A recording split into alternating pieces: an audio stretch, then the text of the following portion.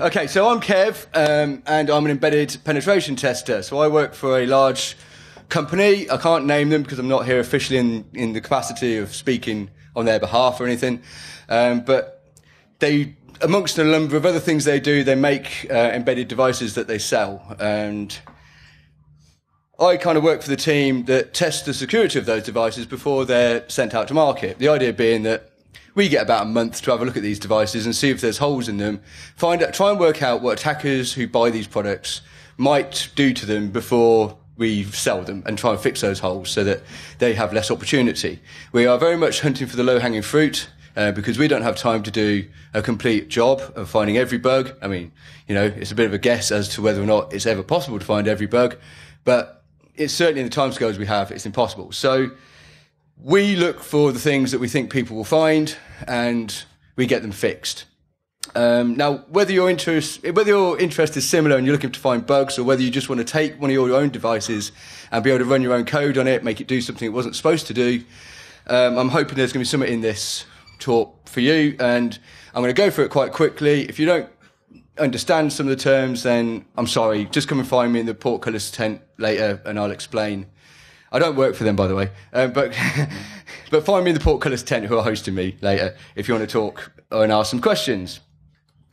Uh, so embedded devices, here's, here's some examples. You've got an internet router, uh, there's an IP camera, there's a mobile phone, and there is a child tracker.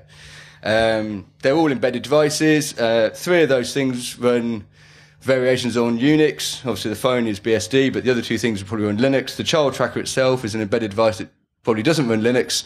It runs off a microprocessor with its own stack, uh, which are incredibly difficult to uh, get to change because a lot of the, there's a lot, a lot, less structure to them. We're going to focus on the ones that uh, deal with Linux because that is 99% of the embedded devices that I see.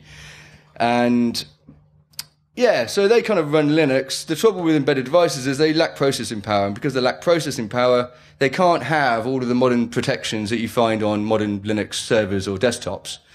Um, at the same time, though, because they're an embedded device, they don't have a keyboard or screen. Um, they have minimal interfaces, uh, minimal services running on the network um, for you to interact with. So there's less to look for, or, or there's less places to look, I should say. Um, but when you go looking, there's less protections in place to stop you. So they are an interesting set of things to hack, and uh, you can do quite a good job with these things. So as I say, there is lots of low hanging fruit. That's what we're going to look for. The main thing that you find is there's no user or process separation on these devices. Um, out of all of the embedded devices I've looked at, one had a user that wasn't root. Um, and ran processes that weren't running as root. But everything else, they all run as root. Um, sometimes they rename the root account, but as long as it's UID zero, who cares? It's, it's still root. So if you can get one bug, you are root. You can do everything. Um, now, when people talk about uh, embedded testing, they often think about the hardware because, you know, isn't that the cool bit? Or maybe it is. I mean, this, this is my toolkit. There's only one specialist tool in that slide, and that's the Lego brick separator tool. They're £1.99 from the Lego shop, either online or in person.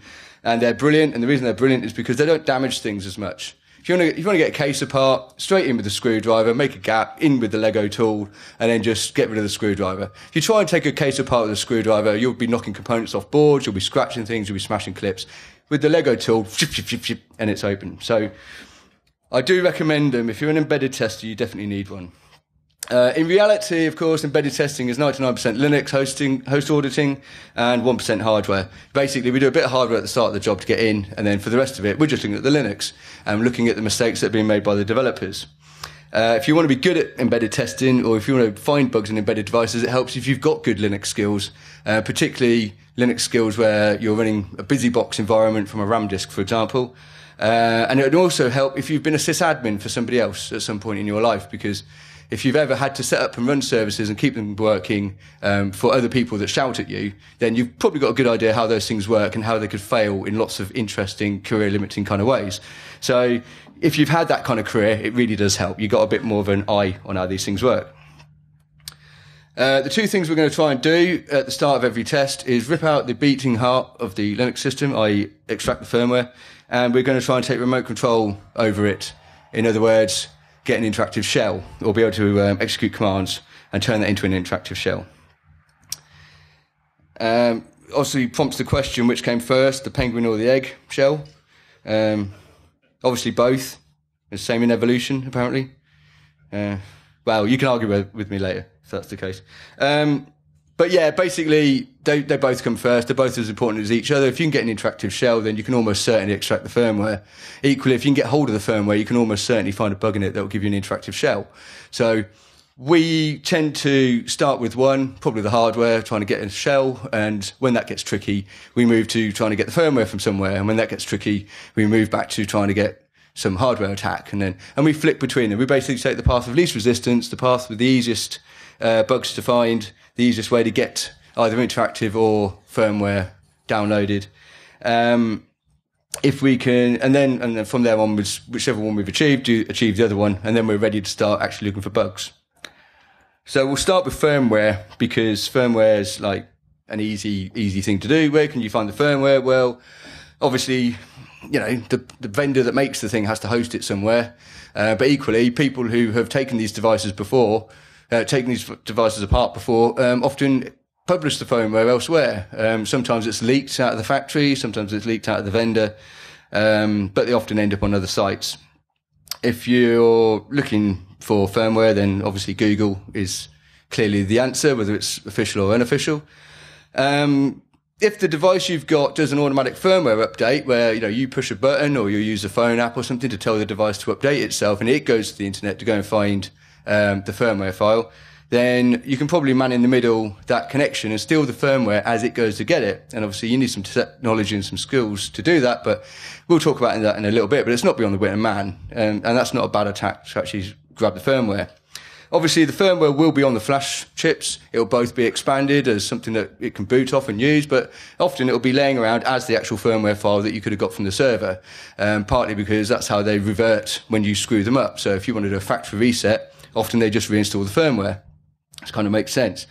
Um, these flash chips in the picture here are TSOPs. They're pretty standard kind of things that we see. You know, legs all down two sides. They're dead easy. Surface mount chips uh, if you want to remove those, flood solder, uh, get some braid, pull the chip up. Well, flood solder with a scalpel underneath. Um, just keep applying some pressure as you keep on heating that solder up and the chip will just fall off the board. Braid it to clean it up and chuck it in a reader. Um, obviously, you're going to need a reader and a soldering iron, but you know this aren't too hard. If the chip's a BGA chip, that's a ball gate array where the um, connections are all on the bottom. They're a lot harder. You can do it; it is possible, and you can read it out. But trying to put the BGA chip back on and making the device work again is a bit tricky. So my advice is work for a large company that makes these devices and demand more than one. Um, and never give them back because they will get used to expecting them to be broken by you in the course of your job, and then you never demand it back. And when you get a good one, you get to keep it. Um, other chips you find for flash are serial EEPROM, and the serial might be UART, I2C, SPI, one wire, two wire, etc. Lots of different types of um, serial buses that may well talk to it. You'll spot those because they've only got five or six legs. Uh, and they're dead easy. I mean, you can pretty much do those in circuit. Just power down the device itself and then hook up onto those pin legs and wire those back into your flash reader or um, your serial reader, bus pirate, whatever. Um, if you're extracting from uh, from dev, then you're going to need interactive control, which is kind of that penguin or egg problem again. Um, so I want to quickly talk about my network. I mentioned man in the middle in the update process earlier. So the kind of network I use, I have my internet broadband route that goes to uh, obviously the internet, and then I put in a Linux box that acts like an internet gateway router. So it provides DHCP, it provides DNS, all, all relayed through obviously.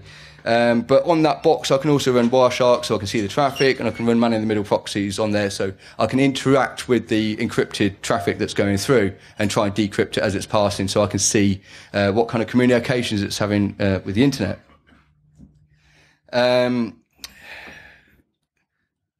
I also have a, an open wireless AP. The only reason it's open is because it's a lot easier to eavesdrop on. Um, you should really encrypt these things when you're doing this testing uh, because the wireless bleeds and other people join your network and ruin your day. So, um, but if you do encrypt that AP, then eavesdropping on it becomes a lot harder. Whether you need to eavesdrop on it is debatable, um, but hey. So I generally chuck in a couple of wireless cards, one to connect to the network as a client and one to eavesdrop uh, as needed. And then I'll drop in my iPhone, jailbroken obviously, and my IoT device. They connect to that network and now I can monitor their commu- communications, and I can see what they're doing. The idea here is to obtain as much information as you can. But say we're going to try and do the uh, man in the middle. And we quickly need to talk about this. So typically firmware updates will be over TLS, Transport Layer Security. Uh, that's the HTTPS um, as opposed to HTTP, for example, when you're browsing the web. Uh, excuse me.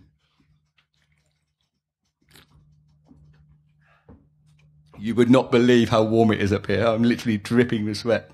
Anyway, so TLS is usually broken. The reason it's broken, the reason TLS exists is because of Edward Snowden. Woohoo! Um, everyone realizes that things need to be encrypted because large TLA, um, you know, intelligence agencies like to come in and snoop on your data. So everyone employed TLS, but unfortunately nobody understands TLS in the vendor world. And, you know, if, if you've got three jobs and only one of them is producing embedded devices, and your employer don't pay you enough or give you enough time to do a good job, then you're only going to do a crap job at this. So um, expect it to be broken, and it probably is.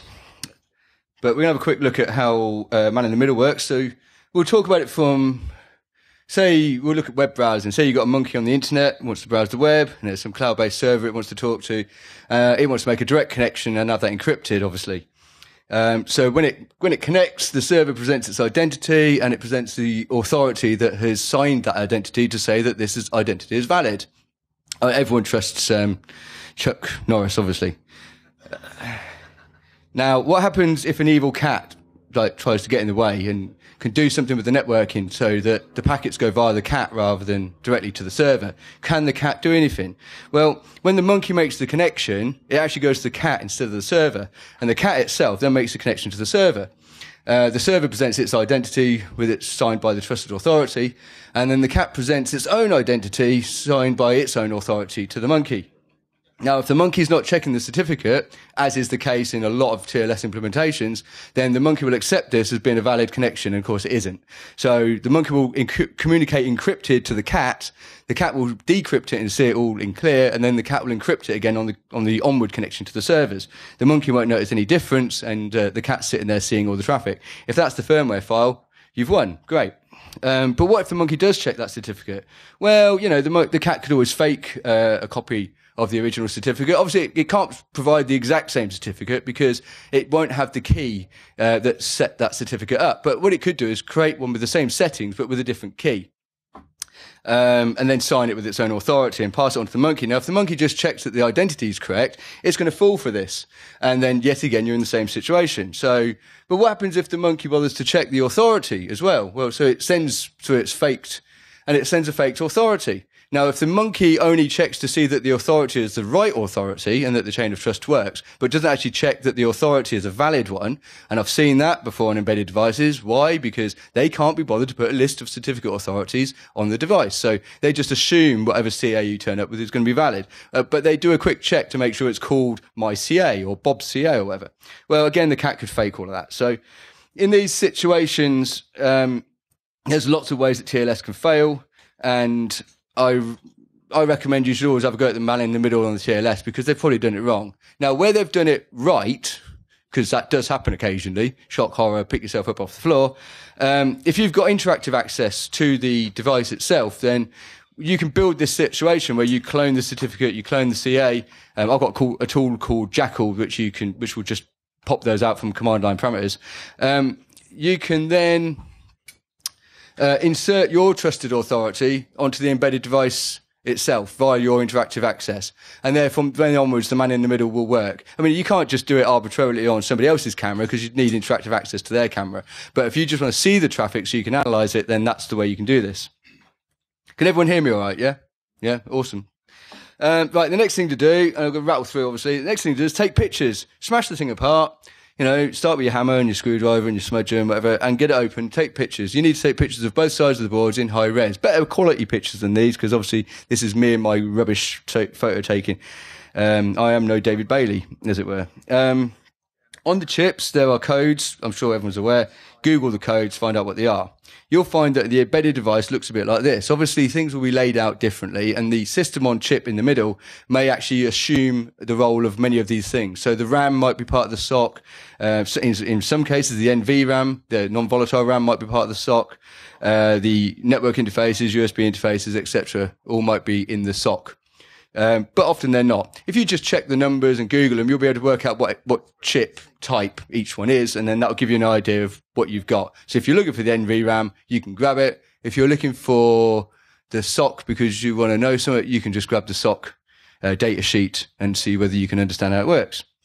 Um, on top of that, there'll be these configurations of what look like solder tabs. They'll be gold, roughly this color, but and they look like solder tabs on the board. So sometimes they're labeled up beautifully like this. So the one nearest the SOC is a UART um, serial device, like standard serial, the sort of serial you see in your computer, except of course you don't anymore. But the one you saw 20 years ago on your computer, but not running at you know 20 volts or whatever. It's running at five volts or 3.3 volts, maybe 1.8 volts, but it will look in that configuration. Sometimes you get them labeled, which is really nice. So you can just hook that thing up to your serial, USB serial device. And now you've got potentially a, a serial connection.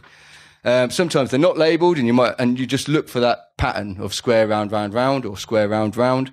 Or you look for the SOC data sheet and you find the serial port and the SOC data sheet and you trace the wires out yourself. Um, there's a number of things you could do. We're going to talk about those in a second. The other configuration you see on here is JTAG. Um, sometimes it's labeled, sometimes it isn't. Sometimes it's this configuration, sometimes it's different. I'm not going to talk about JTAG again in this talk because it is literally our port of last resort. Um, it's rubbish. We find it's proprietary, it's slow, it's difficult to use, and we will only go there when every other, other attack has pretty much failed. So um, if you want to play with JTAG, do so. Often I hear a lot of people when I say I'm an embedded tester, they go, "Oh, JTAG," and I go, "Yeah, it's shit, isn't it?" And they go, "Really? What? Hey?" You know, because that's all they've heard about embedded. Surely that's how you attack these things. It's not, well, not really. You know, if you're developing things, yeah, JTAG might be awesome, but if you're hacking them, not so much. Um, if your if your board's just got these gold solder tab looking things all over it, but they aren't laid out in any configuration or they're not labeled, and you want to work out which ones they are, well, First thing to know is they're not gold solder tabs. Nothing's soldering to these. These are bed better nails contact points for testing in the factory. So in the factory, they have a thing with these pins that stick up and the board is pressed on top of it and they connect with a number of these uh, points and they use it to test the board to make sure the board works.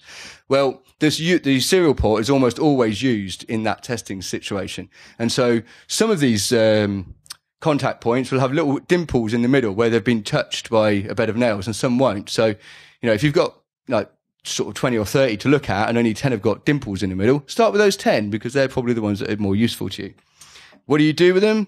Well, we chuck it through a logic analyzer. So logic analyzers, like a digital oscilloscope, um, they're relatively cheap USB devices. These are just pictures. I don't, I don't even think that logic analyzer and that bit of software go together. They're certainly not the ones I have. They're just ripped off Google. Uh, but the idea being you hook up all the wires coming off the logic analyzer to the different points on the board, um, sample, uh, stick the sampling on on the, on the software, reboot the device a few times and you'll get some traces. Um, by looking at the traces and looking at the widths of the pulses, you can work out the speed they're running at. If they're running at roughly UART speed, for example, or um, the sort of thing you expect from I squared C or SPI, then you can pretty much spot them. And you, then you can use the software itself to try and decode that data um, after the event. So you're not having to do it real time. You just capture it in real time and then decode it in lots of different types of ways to find out if you can make any of those pins give you some data. In this one, it says the word found, uh, backslash n, I think across uh, is what they found on it. But, but essentially you'll see things like the Linux kernel starting up. Once you found that, you know you've got the transmit pin. The receive pin will probably be next to it unless they've gone out of their way to obscure it. Uh, we have had them where they're on the other side of the board and all sorts, um, because sometimes they really don't want us to find the serial port. But um, yeah, they're great. If you can't find a serial port or you can't find the port you want, get a logic analyzer. Uh, what do we do when we've got the serial connections, um, or we've guessed them, we think we've got them? Well, we use bus pirates. Uh, they're about £30, uh, maybe a bit less. You can get them from Cool Components, SparkFun, places like that. Uh, so we just the basically it can emulate SPI I squared C, one wire, two wire, and a whole host of other serial protocols, and it provides a USB serial interface back to the computer. So you connect to it and you talk to it over Minicom and you configure it to do the thing you want, and it sets up those pins uh, to be the right kind of pins for what you've asked it for, and then you can bridge together the two chips essentially so that your serial coming in is then bridged to the serial leaving and going into the device. Uh, the other device on the on the slide, which is blown up to about twice the size it should be, uh, but you needed to be able to see it. That's just a simple FTDI connector. It only does UART Um, essentially, uh, you buy them for about three pound fifty from Amazon or eBay, uh, and they'll do as good a job as a bus pirate when you only need UART. So sometimes the timing on a bus pirate struggles at 115 kilobits. Um, is is a warning. Uh, sometimes we've managed to fix that by tweaking the timing manually, uh, but sometimes it doesn't work. Whereas a USB FTDI at 115k just works. So have both. Take your pick. Um, as there's always a use for both of them. Uh, just to quickly show you how easy it is to set up a bus pirate. Um, this is like the minicom session, so we can sort of see the bus pirate uh, logins thing, and there's a prompt, and we went M for mode. We selected UART. We then put in some answered the questions to give it the parameters of what kind of UART we want, and right to the end we ran macro one, which is like the bracket one bracket bit right towards the, the end of it. Um, obviously, it asks us if we're sure because once you do this, your device is then trapped in bridge mode until you uh, depower it. Um, so you say yes, and then if you're really lucky, it will be already be logged in as root, and you have now won. You've now got interactive access, so you can now go and grab the firmware from it or whatever you want to do. Um, I'd say probably 25% of the cases we find it's already logged in as root. No login prompt to get past. In another 50% plus cases, there'll be a login prompt.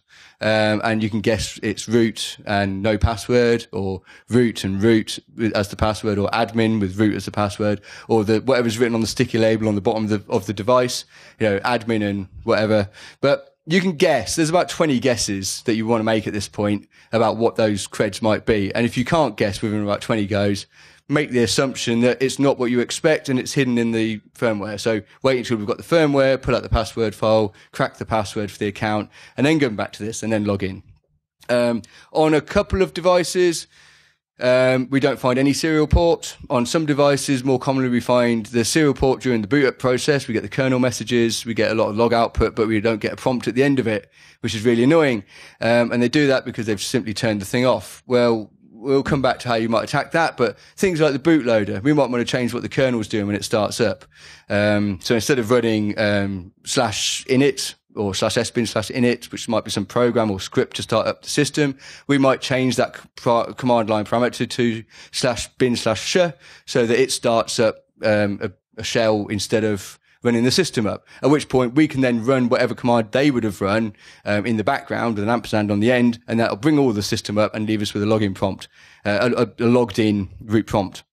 Um, other things we might, yeah, there, there's other kind of attacks we could make at this point. Um, so literally, um, given the kernel parameters, if you can edit the bootloader, we can we can set one of the kernel parameters that actually turns on the serial port, you know, adds a Getty on um, on the TTY. So there's stuff you can do if you don't have, but in most cases, we find it will start up. There'll be a login prompt, and we can go root, return, return, and we're in as root. Okay, so most of the time we can guess our way in. Uh, so what do we do once we're there? Well, we want to get stuff out, obviously, uh, try and find some useful bits and bobs. Um, this is just a snapshot of some of the things that we typically run. I mean, if you do use Linux, this is pretty much all obvious uh, bits and pieces. Uh, but what we're trying to do is get an idea of how the system works, how it hangs together, what's running, how the system's laid out, um, how the networking processes fit together, that sort of thing. So we tend to dump all of this stuff into files, tar it up, get it off, and uh, refer to it continuously while we're testing the device because it saves us having to go into the device again and type the command again. Uh, we like to do most of our work on a nice Linux box with all of our tools available, not on the crappy little embedded device that's got no tools. Um, so the obvious thing to do at this point is to regress the firmware. We want to get the firmware off the device. We've got interactive access. I did say once you get interactive, you should be able to get the firmware off. Well, yeah, simply you need to find some space uh, because you need to DD. You need to copy the contents out of, out of the actual dev node. Um, quite simply, if you if you went into slash dev, which is the dev node kind of directory that has um, these sort of special kernel hooks to all of the different devices that the system has. Uh, on a on a normal Linux system, there's loads of them. There's probably 200, but on a embedded device, there's kind of 20, 30. You know, it's tiny numbers. Uh, so you can go through them all, have a look at the dev nodes, have a look what they're called, and just find the ones that you want. Uh, one of them will have a number of numbers. So there'll be like MTD1, MTD2, MTD3, MTD4, etc. Or there might be MTD block one, MTD block two. It might be SDA. It might be SSD. There's a lot, or SD. There's a lot of different ones, but you'll be able to spot it because it was the one with the incre- incrementing numbers. They are the disk partitions essentially, except of course it's not a disk, it's a solid state device in non-volatile RAM. Um, so when you find them, we can't copy those directly. We need to use DD to extract the contents from them, like to copy the actual underlying block information rather than the link itself. So you need to find some space. So we use mount and df to find the space, DD it somewhere where there's space and then pull them off. Um, how do you get them off? Well, TFTP is my preference because every device seems to have it and it's trivial to set up a TFTP server for lots of good reasons. Uh, but more fun is if it's got a web server, chuck them in the web root. You know, you probably have a, you know, complete interactive access over this thing. You can write anywhere you like. Well, if you chuck it in the web root, you can just browse those files down quite happily, um, with your web browser. Uh, alternatively, set up some kind of tunnel. Some devices have USB, either as a client or a host. Um, some may even have an SD card inside, which is perfect. I had one that had a four gig SD card inside and had no data on it. I don't even know what data was supposed to be written to it, but four gig was easily enough for what I wanted to do. Wrote the whole lot to that, pulled the SD card, chucked it in my in Linux box and had all the files. Uh, the other thing we want to do is we want to get the running firmware. What's the difference between firmware and running firmware? Well, the firmware is the one that the factory set that is there for when the system starts up, and the running firmware is what it looks like after it's started up, when it's created all of its temporary files.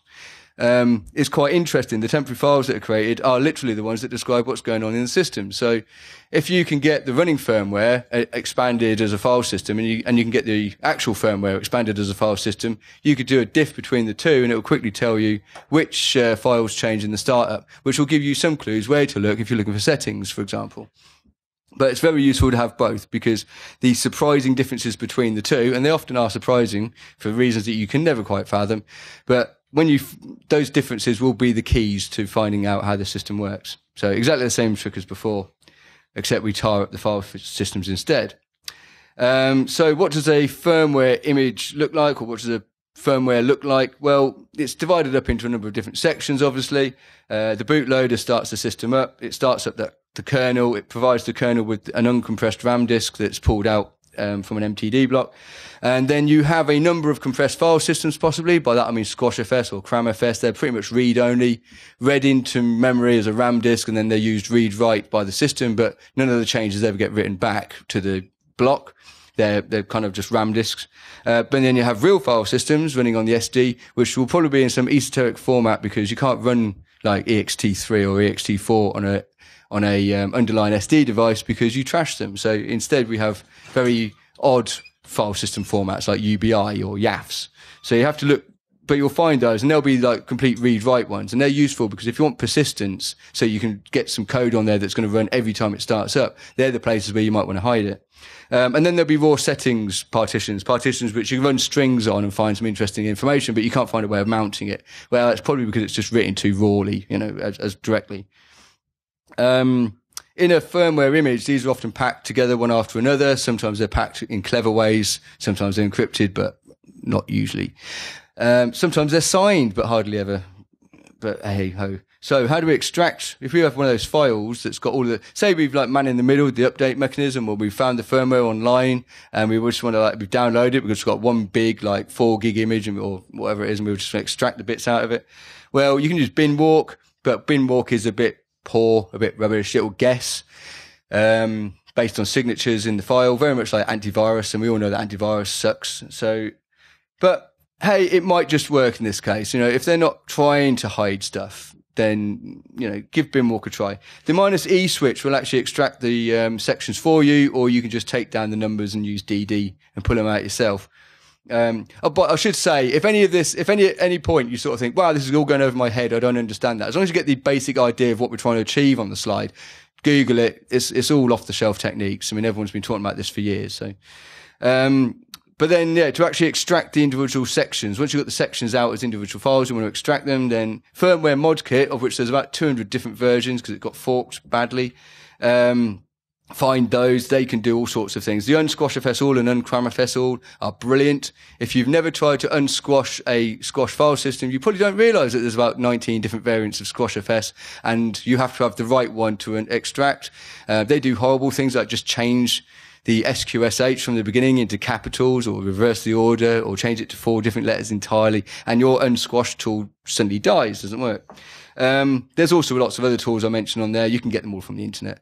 Uh, 7-zip uh, on Windows is always worth a mention, and the reason for that is because uh, I believe well, it finds lots of stuff that we don't find any other way. I don't know why. It, we think it's because it's really lax on error checking. So when things go wrong in the archive, it just goes yeah whatever and carries on. Whereas all the Linux tools go no, you have to stop. This isn't a valid archive. So definitely get 7-zip and stick it in your Windows VM because you'll probably want it one day. I'll let you digest that one while I have a drink. I'm not drinking enough, if anything.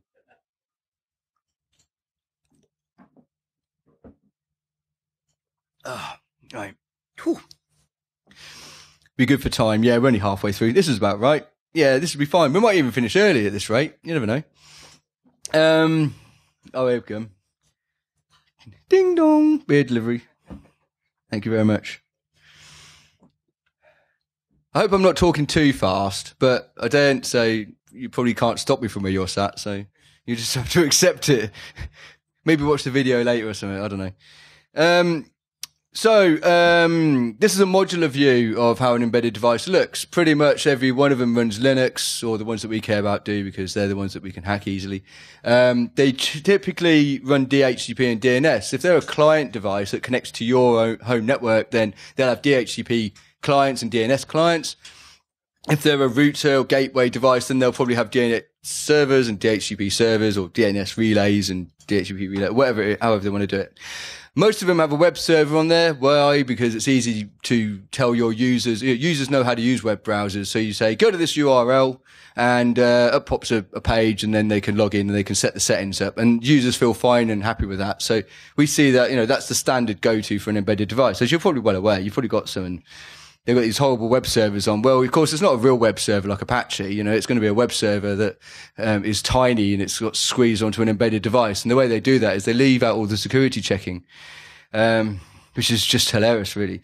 Uh, there's different types. You often find go-ahead web server, often with a web proc backend. Uh, you get mini HTTPD, you get Lighty.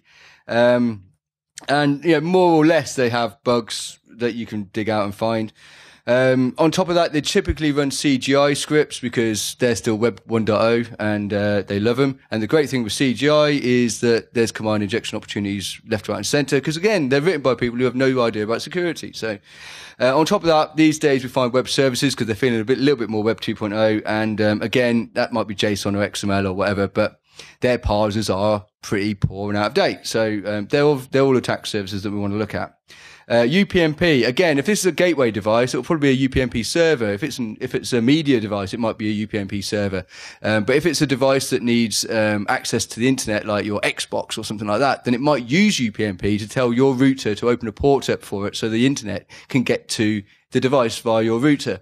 Um, UPnP, we know, is really, it really, a lot of the time it has bugs in it. That's all I'll say. Um, you need a tool um, to exercise UPnP properly.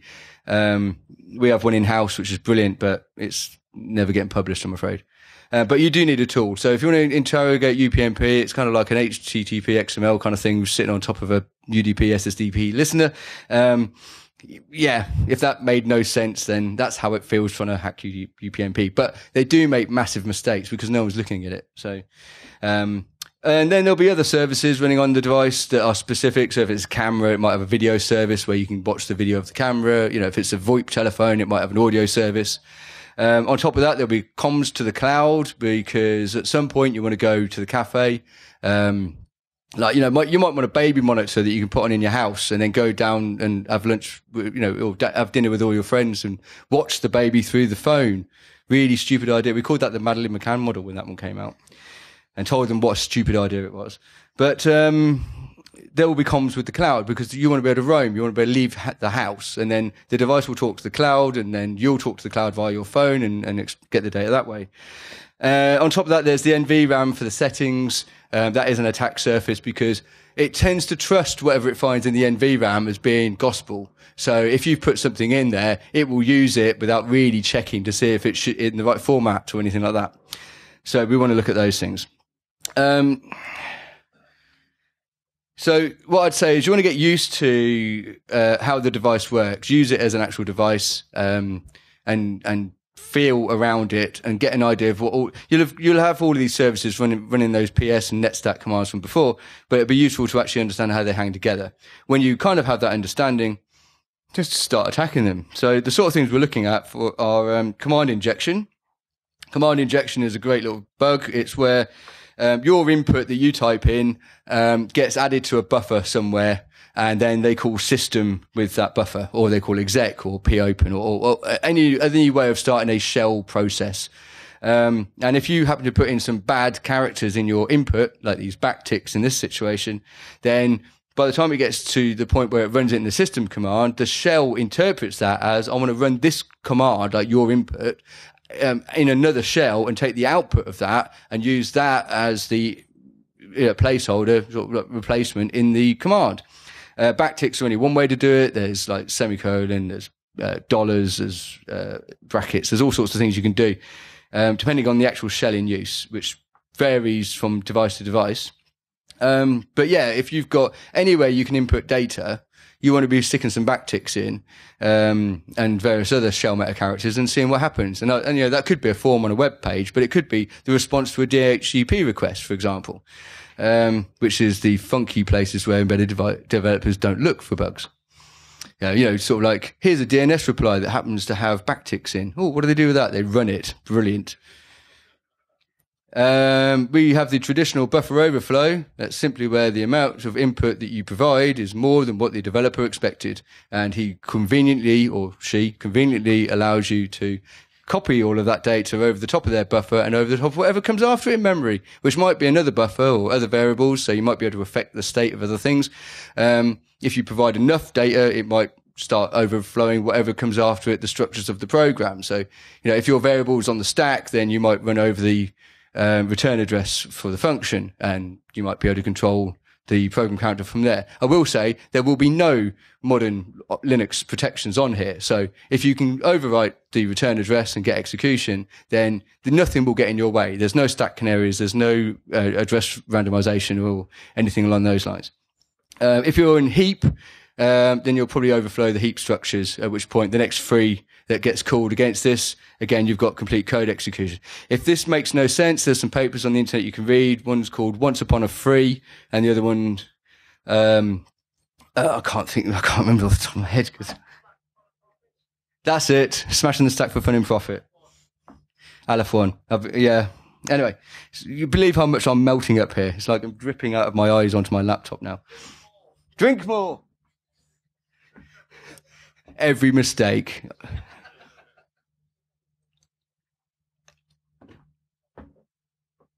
Okay, but still good for time.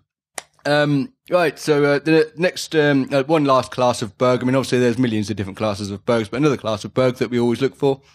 Uh, format string vulnerabilities. Format strings are the ones that um, people forget to look for sometimes because they don't completely understand how they work, perhaps, but it's as simple as somewhere in the program, the developer uses one of the printf uh, functions and uses the and, and the format string argument that's provided to it. You have some control over. Some of your buffer ends up in there for magic reasons, and the magic reasons are because they generally use in a printf function like sprintf or uh, snprintf when they should be using a copy function, and they're simply trying to copy from a format from one buffer to another but the, because they're using printf, the the, cop, the buffer they're copying from gets interpreted as a format string, which they probably weren't expecting. Uh, they might not be expecting you to put percent characters in there, for example, and they might not sanitize them out. So if you put percent characters into that buffer, and again, I'm not saying this is just like forms on a web page, for example. This might be, you know, let's say DNS responses, or um, it might be literally in the NVRAM settings when you can get something in there, put the percents in there because it's not checking or sanitizing. Then um, when it comes to use that printf uh, function or, or, from that family, uh, it interprets that as um, a variable on the stack that it needs to insert into the into the string, and if you haven't you know, if you're providing extra requirements for extra stack variables and they, they aren't being provided to the function, then it will find them on the stack. And with good use of format string characters, uh, percent %n being very interesting, um, you can take complete, uh, you know, code execution from this, from this point. So, um, yeah, stick a percent in or percent S or a whole load of percent X's and a few percent N's and see if it crashes because it probably will. So um, obviously, looking for bugs might be quite tricky. It might not be your normal thing. So um, of course, we always take. We haven't got a lot of time when we're doing this for a day job. So what we do is we we typically go to the internet and ask the internet what bugs exist, and the best way to place to find them is on the actual page, on, which lists all the bugs. So um, look them up and find out if they're relevant. Uh, often the modules you need won't be there or whatever, but find out if they're relevant, and then um, you know, sometimes the vendors will change the code themselves and they'll accidentally fix bugs without realizing it. And that's really, really annoying. But, um, on the web page where you can get the code, you can usually get the release notes so you can find out what changed. So if you, the CVE details tells you which version fixed it, you can get the, um, look at the release notes for that version. It will tell you what fixes they made. Sometimes they'll tell you in quite a lot of detail. Um, on top of that, you can download the source code. Um, so I recommend download the source code for the version where they fixed the bug and the version before and the version that you've got. Um, do a diff between the version where they fixed it and the previous version. That'll give you the exact change required to fix the bug and then retrofit that fix back to the version you had before and you'll see where the bug is. Once you see where the bug is, you now just have to use a little bit of science and maths to make you to be able to exploit it. Um, so, you know, the great thing with open source software is they're really open. So what else uh, do we look at? Well, if you don't have, if it's not open source software, you know, I mean, half the services will be open source because they're too lazy to write a web server, but half the services will be bespoke because no one's writing the code that they need. So they sit and they beaver away and they produce some stuff that typically has a load of bugs in it. So um, you generally only have the binary kind of uh, executables at this point. So we need to disassemble them. So we use IDA Pro, which is a screenshot of this tool here. Um, it's not that expensive for what it does. I mean, there's a reason why it costs money. It's because it's really, really good. Um, the add-ons themselves are amazing, but they cost even more money. Um, the things we're kind of look, auditing for is the use of like, you know, system, exec, popen, um, things in that kind of families, because they, um, run commands in the shell. And if we somehow control some of those buffers that get run, then we might be able to get our command in there. That's where we might look for command injection, for example. Uh, we look for the str copy, strun copy, mem copy. Uh, there's a strun copy, strlen kind of like f- configuration, which is pretty awful. Um, but we're looking for buffer overflows. You know, if, if, anywhere where it's copying data from one place to another, and it might be ignoring how long it is.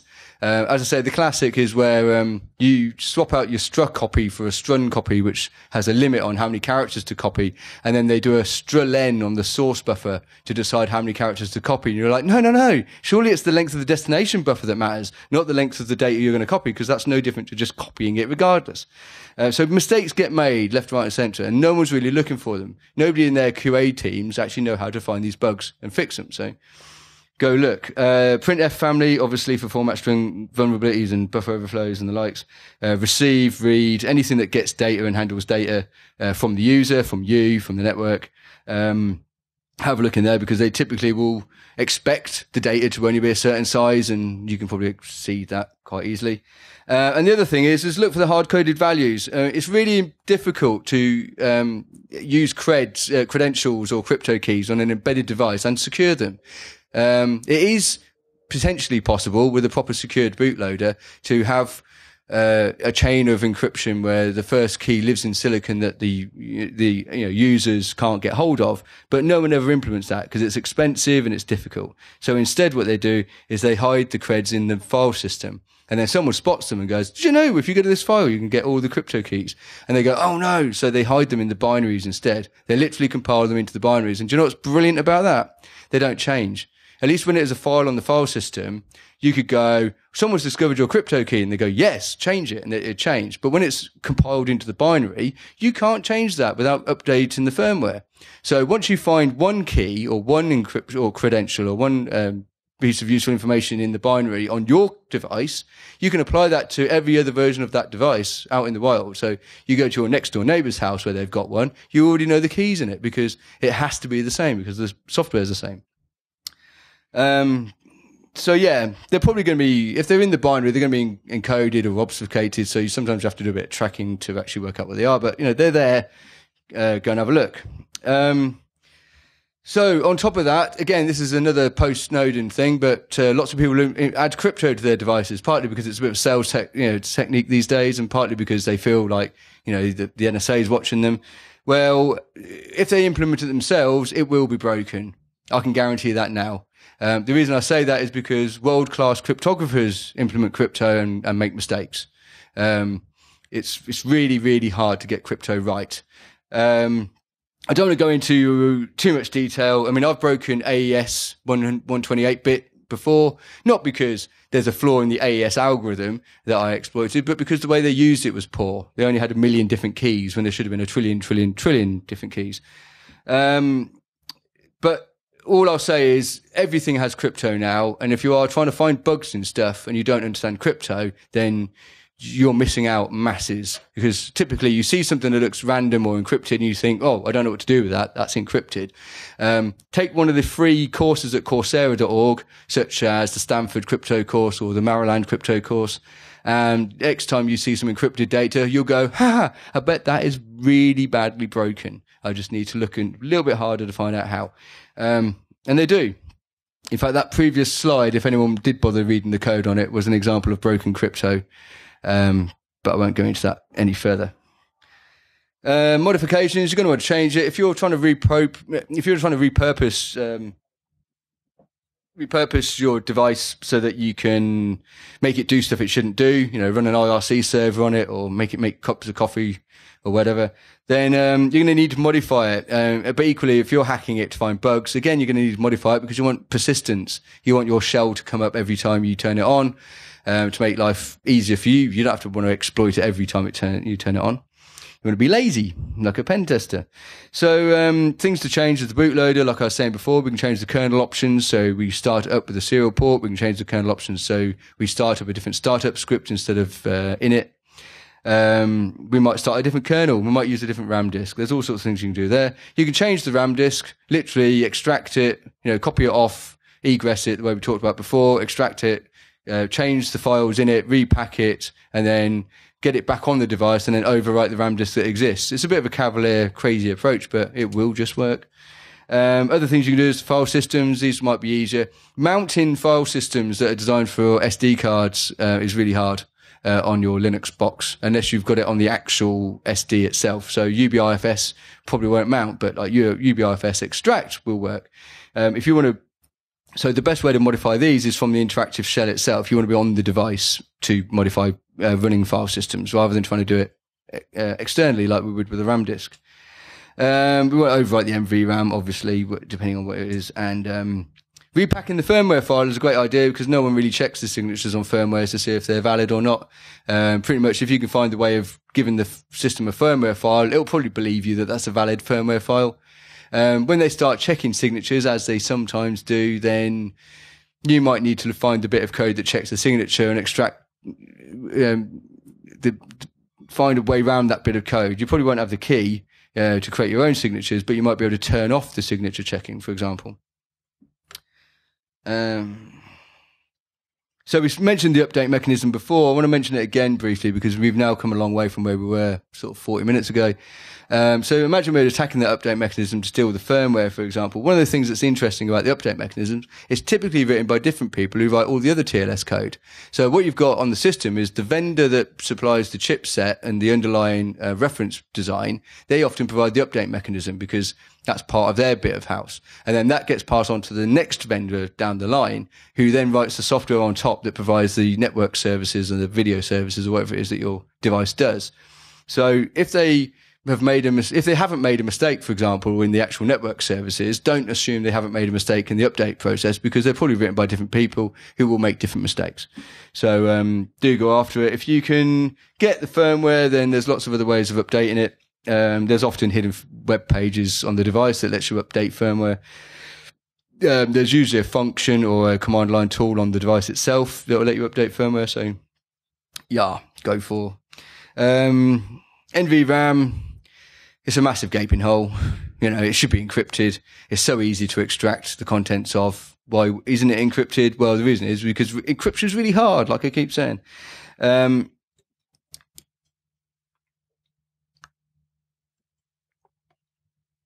there's a lot of settings excuse me.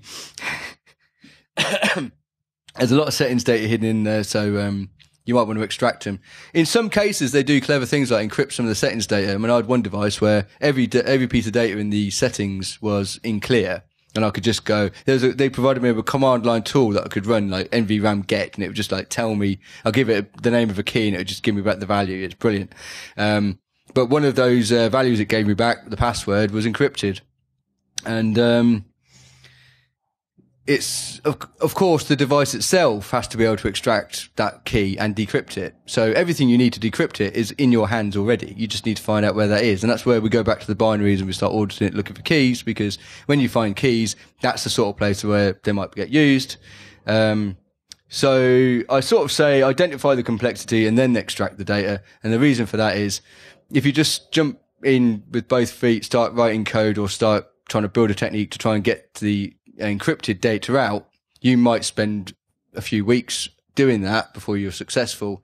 Uh, and in the meantime, miss loads and loads and loads of other bugs, like I did. Uh, so identify the complexity first, and then if it looks reasonable or it when it becomes the most high priority thing to look at, then look at it. Then it, then extract the data. So we're almost at the end. Um, the attack surface is massive and tiny at the same time. Um, there aren't many services running on these devices, so it's quite a small attack surface. But when you look at the individual, the actual bits and pieces, there's so many things you can do with them, and there's so little protection in place to stop you doing stuff with them that, um, let's say, it's big and small at the same time. What I typically say is go after all of it, audit the lot. Um, you know, there's very little excuse to leave anything running on that device that you ha- don't actually understand because there's, you know, I mean, you might be able to count the processes that are running on two hands. That's how f- little there will be actually running on the device. And if you can't audit all of those processes, then, you know, take some more time, get some more skills, do some more training, learn some more stuff because the bugs will be there. I guarantee. Um, I think the rest of that slide kind of speaks for itself, but yeah, there's just lots of mistakes that people make. It's a lot easier to hack these devices. Oh yeah, that's what. Well, it seems we've got a couple of minutes. I was going to say actually. So I, I, went and saw a talk at 44Con last year. I think it's last year or the year before, and um, someone was hacking into a kid's toy. The toy was a, ra- a rabbit, a plastic rabbit, and it had these um, ears that could move uh, had, and light up and things like that. And you had an iPhone app and you could kind of go like ears up, ears down, like, uh, you know, go red, go green, whatever it was. I can't remember the details. I can't remember what, what actual toy it was. And, uh, the guy did a talk about how he hacked it, right? And, and fair play, he hacked it, but he treated it like it was a server on the internet. At no point did he take the covers apart and have a look inside. And it's like, it's in your hands. You know, if you're hacking something on the internet, yeah, it's really hard to go to that data center, pull the server out of a rack, get your screwdriver out start taking it apart and steal bits from inside it to make your job easier. But if it's in your hands, like you've bought the device yourself, get a hammer, hit it hard and find out what's inside it. Because, you know, when, when we were 10, that's how we discovered how things worked. And now all of a sudden we're adults. Oh no, we've got to do it the like, you know, highbrow way of like, you know, be clever and stuff. No, we don't have to be clever. We can just take stuff apart and look at how it works. Uh, it's mostly Linux host auditing, as I said at the beginning. So get good at that when you fail, it's because your Linux skills aren't good enough typically. So, you know, that's how it'll go. We, we all go there. We all have to learn off each other. Um, but as I say, it's a lot easier to start with a firmware image or, and sometimes you get that from the web and sometimes you get that by taking the device apart. But it's very satisfying to smash a device open and end up with a serial port and be logged in as root and through that extract the firmware. Like even taking the chip off the board and extracting the firmware from it that way. It's a very satisfying thing to do, even if it takes another five minutes. Um, because you feel like you've done something useful, I guess. So in summary, get interactive root, get the firmware and the running firmware and diff the two, and then look for vulnerabilities in everything that is running and you will find them and you'll have success. Um, if, yeah, it's not that hard, honestly. Hey, if I can do it and I'm drinking Guinness, then I'm sure you can all do it. Uh, I'll be in the Portcullis Cisco tent not that I work for either of those companies, but they're so lovely with their hospitality that I'll be over there drinking their beer. So if you want to ask any questions, please do. I'll quickly answer the obvious question before I stop because I've got another th- four minutes according to this. Um, the two people on the left, that's me and my boss looking for bugs. Uh, the two people in the middle, that's our customer at the company we work for being gleefully happy that we found holes in their product before they released it to market because this means they don't have to get embarrassed and explain to their boss why we've got all these vulnerability notices coming in or things are being talked about at conferences and screwing our, bar- our brand positioning. And the uh, the final person uh, over on the uh, right there, um, that's how the vendor responds to us telling them that their product is shit. Pardon my French, but it was kind of necessary to add the emphasis to that final point. So, uh, my website uh, has a few bits of tools on there. If you like um, debuggers and ptrace, then um, uh, there's a couple of tools on on my website that you can you can get hold of. In the future, there'll be more stuff on there, but right now that's where we're at. So, thank you very much.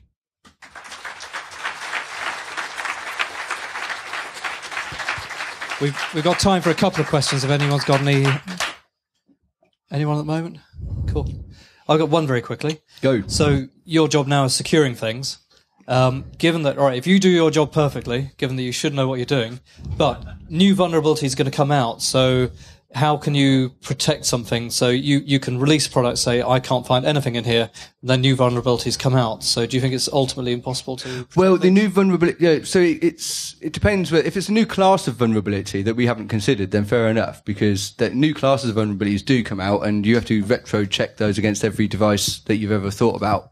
Um, but new classes of vulnerability only come out once in a blue moon, usually, like once every 10 years or so. So they, they will be there, but don't worry about them too much. Um, in terms of actual bugs, if I do my job well, then I will have audited all of the code that is running on the device and I will have found all the bugs that exist or, or contained it within a defense in depth kind of environment so that you can't exploit them.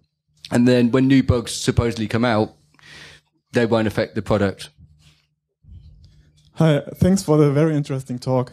Um, I wonder how secure boot will um, affect your work or does already affect um, the stuff we try. We're only just starting to see secure bootloaders coming through. Um, we're, we're not hacking mobile phones, um, for example. Uh, we might hack mobile phone apps, but we're not actually hacking a lot of mobile phones themselves, which is where we're seeing SBL coming in early. Um, some routers are starting to employ SBL and yes, it will make our job harder. Um, because we, one of our attack uh, vectors, as I said, is, is via the bootloader. And if you can't modify the bootloader, but the other thing, the thing to remember is that the people implementing the SBL don't have any skills, history, um, or knowledge in how to implement that securely. So they will make mistakes. Um, again, the trick is to not just naturally assume that it's going to be secure because they've used secure bootloader type technology, but to think, how would how would I have messed this up? Oh yeah, I'd have forgotten to do that, or I'd have done it on a Friday afternoon when I've just been in the pub, and then you'll find the bugs because so yes, it will make it harder, but you know, I'm still confident. Wonderful. Cool. I don't think we've got any other questions now. So uh, you you've demonstrated very well that Guinness is good for you because I've been drinking water and fell off stage, and uh, you've been all right. Thank So, you very uh, much. Thank you. Thank you very much, Kevin Sheldrake.